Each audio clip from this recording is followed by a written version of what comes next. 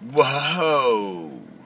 It's the illusion reporting from somewhere on Spaceship Earth. I'm in the driveway warming up the Terra Cruiser to go. I don't know where. It's Saturday and I have no idea what I'm doing. But uh, I do know something about today. Today started with censorship. So uh, all of those limited viewers who had caught the WoW Chronicles Chapter 1, there's not going to be a Chapter 2. The WoW Chronicles are never coming out.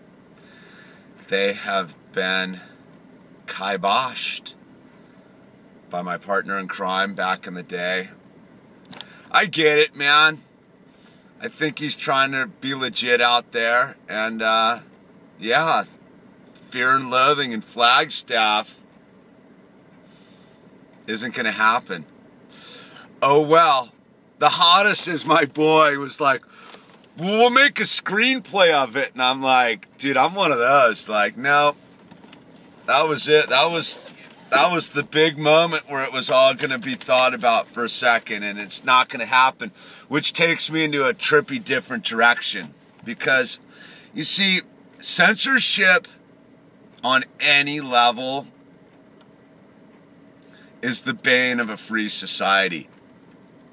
And I get I get why my boy doesn't want the story told because we don't live in a free society, man. The cops are everywhere listening in on everything. The FBI and the NSA are listening to this transmission in my phone right now and they listen to everything on YouTube and Facebook and so some people fear that. See, I don't fear that and on any level. Like, fuck the man. And I, you know, I try to keep my profanity down, but on that one, that's a that's a free pass because, dude, if you got if you're gonna let the man push you around the federal government and the police state grid that is developing all around us, then you're living in the lowest vibrational frequency, and it's called fear, man. And I and I don't roll with fear.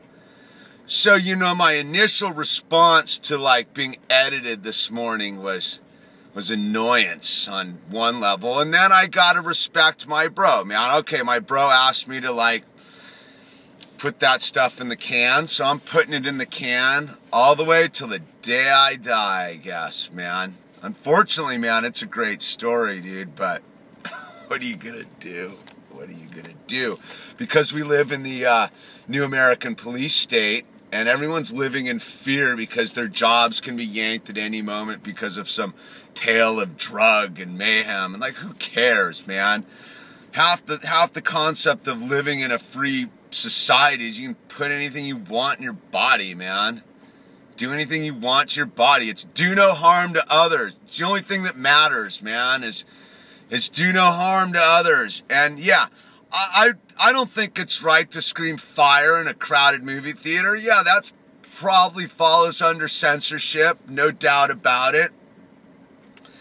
And, you know, violent speaking of, of inflicting violence, yeah, I think that's a, a, a probably should be a little bit censored within reason.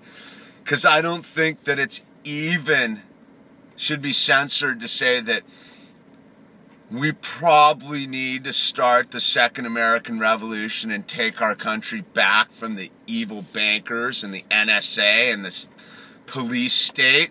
I don't think that violence needs to be involved in that on any level. I think we just need to stop participating in the fear, man, and I am not going to be afraid.